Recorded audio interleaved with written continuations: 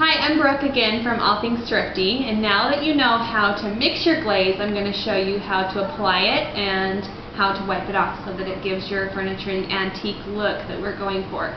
So you just get a brush, you can use either a, a sponge brush or a bristle brush. Sometimes I use a bristle brush just depending on if I want to get in all the nooks and crannies, but really both works just fine.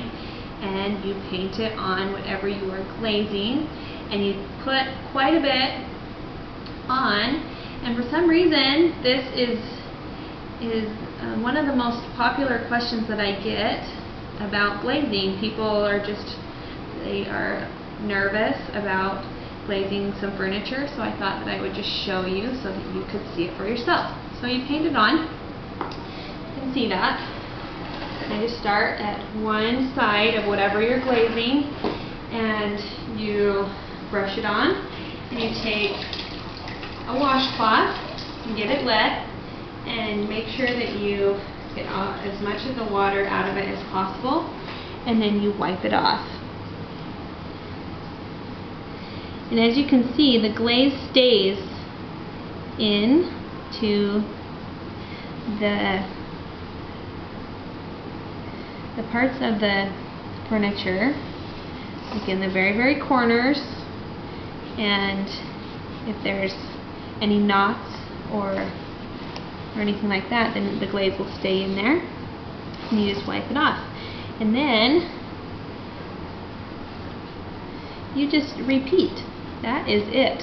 I think that some people are a little too nervous just because they're just nervous, but there is no need to be nervous about this because there's there's no way that you can screw it up.